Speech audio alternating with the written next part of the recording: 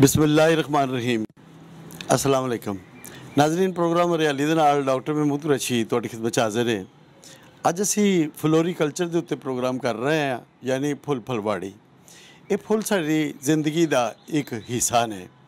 ਫੁੱਲ ਬਾਗ 'ਚ ਹੋਵੇ, ਚਮਨ 'ਚ ਹੋਵੇ, ਤੇ ਇਹ ਜਿਹੜਾ ਬਾਗਾਤ ਨੇ, ਇਹ ਵੀ ਫੁੱਲਾਂ ਤੋਂ ਬਗੈਰ ਕੁਝ ਨਹੀਂ।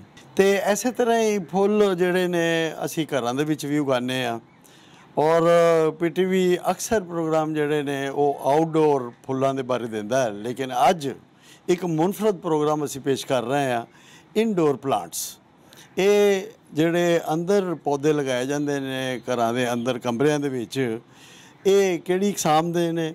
ਔਰ ਇਹਨਾਂ ਦਾ ਕੀ ਫਾਇਦਾ ਹੈ? ਖੂਬਸੂਰਤੀ ਕਿਵੇਂ ਪੈਦਾ ਕਰਨਗੇ? ਤੇ ਇਸ ਤੋਂ ਇਲਾਵਾ ਅੱਜ ਦੇ ਪ੍ਰੋਗਰਾਮ ਦੇ ਵਿੱਚ ਅਸੀਂ ਖਵਾਤੀਨ ਵਾਸਤੇ ਖਾਸ ਤੌਰ ਤੇ ਜਿਹੜਾ ਕਿਚਨ ਗਾਰਡਨਿੰਗ ਉਹ ਵੀ ਪ੍ਰੋਗਰਾਮ ਪੇਸ਼ ਕਰਾਂਗੇ ਕਿ ਖਵਾਤੀਨ ਜਿਹੜੀਆਂ ਉਹ ਘਰਾਂ ਦੇ ਵਿੱਚ ਕਿਸ ਤਰ੍ਹਾਂ ਸਬਜ਼ੀਆਂ ਉਗਾ ਕੇ ਤੇ ਫਿਰ ਉਹ ਜਿਹੜੀ ਇਹ ਘਰ ਦੀ ਜ਼ਰੂਰਤਾਂ ਪੂਰੀ ਕਰ ਸਕਦੀਆਂ। ਆਓ, ਮੇਰੇ ਨਾਲ।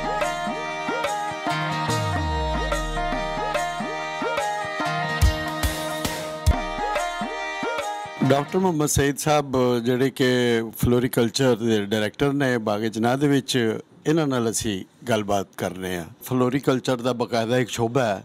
ਇਹ ਸ਼ੋਭੇ ਦਾ ਬੁਨਿਆਦੀ ਮਕਸਦ ਕੀ ਹੈ? ਔਰ ਲੋਕਾਂ ਨੂੰ ਇਹ ਕਿਸ ਤਰ੍ਹਾਂ ਸਹੂਲਤ ਬੈਂ ਪਹੁੰਚਾ ਰਿਹਾ ਹਕੂਮਤ ਨੇ ਫਲੋਰੀਕਲਚਰ ਦਾ ਸ਼ੋਭਾ ਪੰਜਾਬ ਦੇ ਵਿੱਚ ਕਾਇਮ ਕੀਤਾ ਔਰ ਇਹਦੇ ਬਹੁਤ ਜ਼ਿਆਦਾ ਲੋਕਾਂ ਨੂੰ ਫਾਇਦੇ ਵੀ ਹੋ ਰਹੇ ਨੇ।